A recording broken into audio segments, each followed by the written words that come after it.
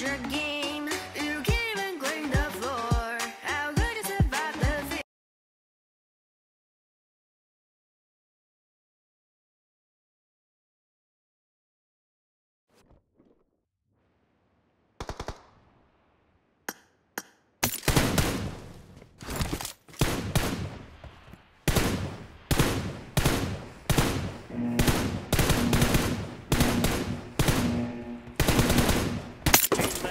Let's go.